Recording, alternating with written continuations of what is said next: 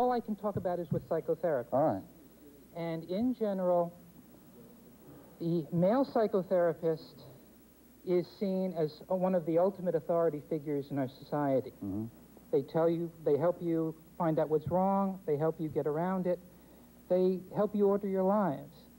And men, if they've got a problem, can go to see a male psychotherapist and they can generally let, lay out their problems, not so much as they have. I mean, because there are dominance games within the male gender, and to give up part of your power to so, another man, to let him right, let, know. let me cut through that for just a second, right? As a male, did you have dominant genes that made you dominant and egomaniacal?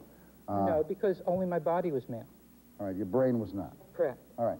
How many, how many guys, let me, let me see a camera on the audience. How many of you gentlemen out there would indeed have a problem talking openly to a woman, all right?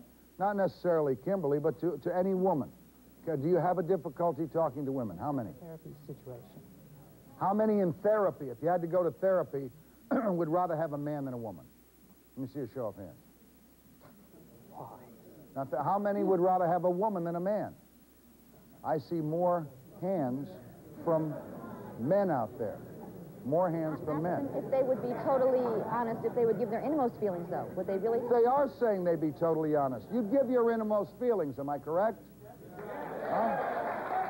We're going to talk to the audience next, all right? Let's see what our audience has to say. Stand by.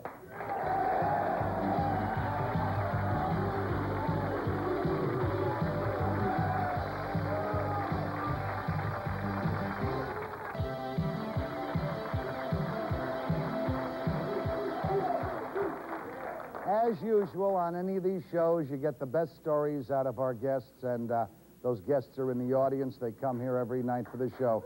That is, this is the most intelligent crew in America. Let's start with this young lady.